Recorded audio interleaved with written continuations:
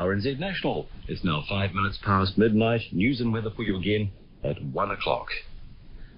Well, Merry Christmas. You know, it's my honour to be able to uh, be possibly the first person in New Zealand and maybe even the world to wish you Merry Christmas on Christmas Day in New Zealand, of course. It's very, very nice to be with you on the all night program. It's an honour, in fact.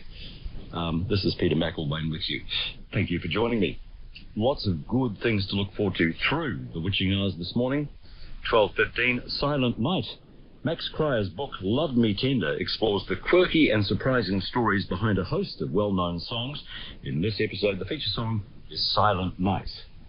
And coming up on Health Check at 12.30, watching videos of their own life stories, including old photographs and favourite songs, helps to ease anxiety in people living with dementia.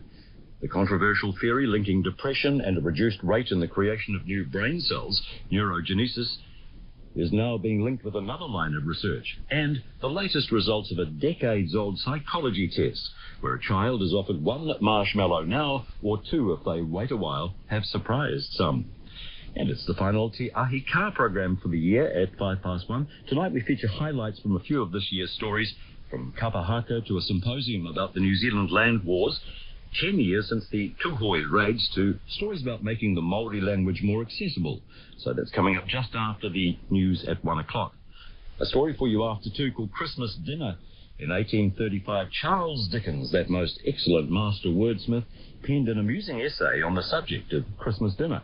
Not so much the meal itself as the effect on a family when everyone gathers together for the festivity.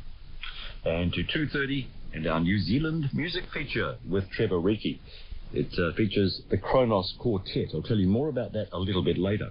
Another story for you at five past three. It's called Last Christmas, written by Elizabeth Easter. The family Christmas dinner conflict, tears and broken crockery. Five past three. 3.30 Science in Action. Global science stories featuring on this week's uh, episode include a new research collaboration which has been launched to look at ways to get early warning of landslides in the mountainous regions of southwest India. 3D printed kidney, mosquito identification, and paleontologists suing Trump on Science in Action at 3.30. We have the autistic gardener for you between 4 and 5 with uh, Kathryn Ryan. As his name suggests, Alan Gardner has green fingers as well as pink hair and nails. He also has Asperger syndrome and is the presenter of the TV documentary show The Autistic Gardener. And he talks to Kathryn about how he views the world differently and uses this as an advantage to work his horticultural magic on suburban wastelands.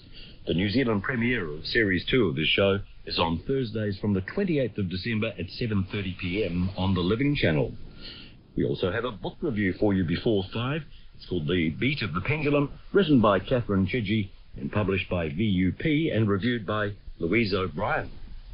Just after five, Witness deals with Toy Story, the buddy movie about a cowboy doll and a toy astronaut. It was a milestone in film animation. The director and animator Doug Sweetland recalls his work on the Pixar film that is now recognized as the first digitally animated feature film. And our last featured around 5.45 on the all-night program another extract uh, from Max Cryer's book, Love Me Tender, telling the story behind popular songs. And the featured song in this episode is Rudolph the Red-Nosed Reindeer. I'm personally looking forward to all those features and telling you a few little stories of my own, um, reading your texts on 2101 and playing music after midnight, like this one from the Singers Unlimited.